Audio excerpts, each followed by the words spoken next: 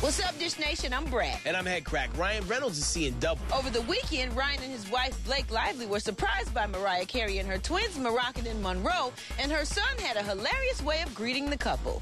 Mariah posted to Instagram with the caption, Rocky snuck up on an unsuspecting couple wearing a Deadpool mask. Will they ever recover? Looks like Ryan has a stunt double for Deadpool 3 and Mariah on the soundtrack. Catch Dish Nation every weeknight for more on all the stories we're dishing about.